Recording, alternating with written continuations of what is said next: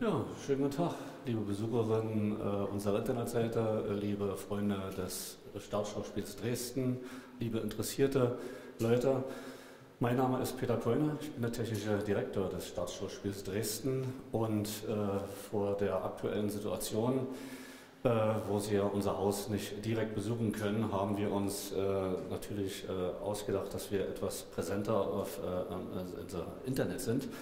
Wir haben Schauspieler, die Lesungen veranstalten, äh, die äh, was für sie vorbereiten. Wir werden äh, unsere, einige unserer Vorstellungsstream, aber auch wir von der Technik haben uns gedacht, dass wenn Sie uns hier schon nicht besuchen können in Führungen, die wir auch hier veranstalten oder im Rahmen des Theaterfestes oder auch auf Nachfrage, dass wir Ihnen eine virtuelle Führung mal zusammenstellen.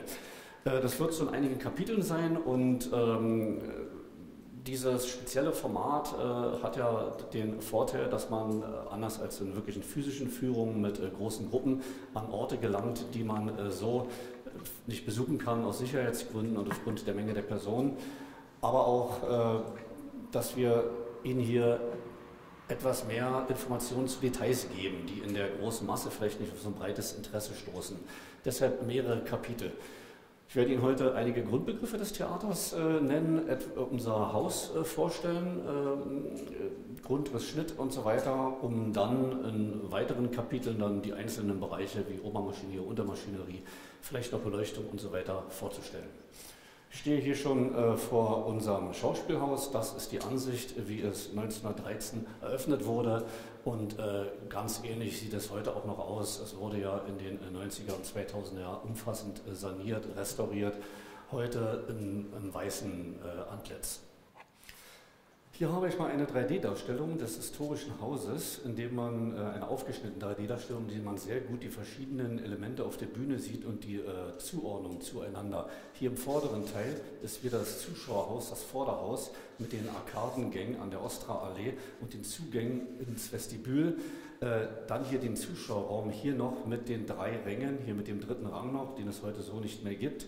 Und dann ab dieser Ebene hier die Trennung ins Bühnenhaus mit dem markanten, äh, sehr hohen Bühnenturm, den Arbeitsgalerie und der Bühne. Hier sieht man auch sehr schön unsere drei großen äh, Bühnenpodien. Das Podium 1 ist etwas abgefahren und in der linken unteren Seitenbühne werden äh, diese Wagen geparkt und äh, man kann mit denen auf die Podien fahren und so Dekorationen reinbringen. Dazu kommen wir aber noch äh, speziell im Kapitel Untermaschinerie. Ja, hier habe ich mal zwei Grundrisse für Sie. Das sind moderne äh, CAD-Pläne, mit denen wir auch äh, unsere Konstruktionen machen äh, für die Bühnendekoration. Äh, hieran lässt sich äh, besser nochmal darstellen, wie die Szenen und die Bühnenflächen verteilt sind.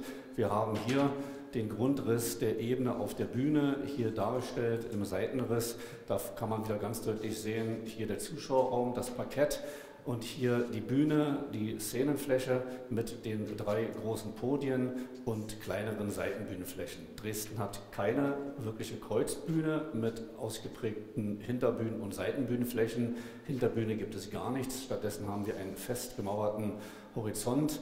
Ist auch sehr markant, kann man von der Theaterstraße aus schon draußen am Gebäude erkennen, diese Rundung. Und äh, wir haben nur ganz äh, marginale Seitenbühnen. Äh, hier ist noch zu sehen äh, eine Logistikfläche, die Verfahrfläche, die dann hier in dem Aufzug mündet, weil die Bühne äh, ist fünf Meter über dem Geländenniveau und die Dekoration muss von hier antransportiert werden. Hier auch nochmal dasselbe in der Unterbühne. Wir sind hier jetzt auf diesem Niveau, circa fünf Meter unter der Bühne, ein Grundriss. Man sieht dieselbe Szenenfläche, die sich unten abbildet, weil die Podien ja auf diese Ebene auch runterfahren können. Aber im unteren Bereich dann gibt es echte Seitenbühnenflächen, die eben heute als Lagerflächen dienen oder auch für szenische Verwandlungen der Dekoration. Hier habe ich einen aktuellen Seitenriss vom Gebäude erkennen wir auch mal daran, also erstmal ist das Layout auch äh, unterschiedlich, aber dass hier der dritte Rang fehlt. Es gibt ja heute nur noch äh, zwei Ränge, ein Parkett und zwei Ränge. Der dritte Rang ist eine Beleuchtungsposition, das ist äh, unsere Beleuchtergalerie. Wir haben jetzt äh, nur noch 786 Plätze, nicht mehr wie ursprünglich äh, zur Bauzeit 1300 und später dann äh, in dem DDR-Gebäude 1200. Hieran möchte ich Ihnen noch ein paar andere Grundbegriffe des, äh, des, äh, der Bühnentechnik erklären. Hier haben wir wieder diese Trennung zwischen dem Zuschauerhaus und dem Bühnenhaus. Wie gesagt, hier der Zuschauerraum, hier oben ist der Kronboden, hier hängt der Kronleuchter. Dieses Fachwerk ist äh, statisch notwendig und hier im rechten Bereich haben wir dann den technischen Bereich.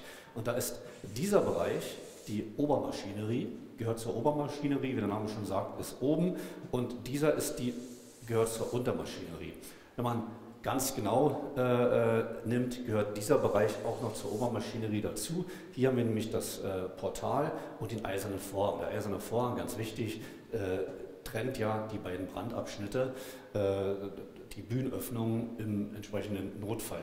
Zur Obermaschinerie gehören die Beleuchtergestelle, die man hier äh, sehr präsent sieht, hier in Blau. Äh, wir haben vier Beleuchtergestelle, das sind feste Lichtpositionen im äh, Rollenboden oben drin und hier einzeln diese Prospektzüge. Daneben gibt es noch Punktzüge, Panoramen, da kommen wir zur Obermaschinerie. Hier Unsere Untermaschinerie besteht im Wesentlichen aus diesen schon vorhin genannten drei Podien, die bis äh, 8 Meter tief fahren können.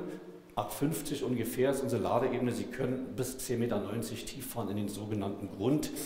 Äh, wir haben hier eine Schiebeposition, die noch dazu gehört, Seitenbühnenebenen, aber das eben später. Ja, liebe Theatertechnik-Interessierte, das war die erste Folge mit ein paar Theatergrundbegriffen. Sie haben jetzt schon was vom Bühnenhaus gehört, vom Zuschauerhaus, von Podien, von Seitenbühnen, von Prospektzügen, von Untermaschinerie. Äh, Näheres dazu gibt es in den nächsten Folgen und wir freuen uns, Sie da begrüßen zu können.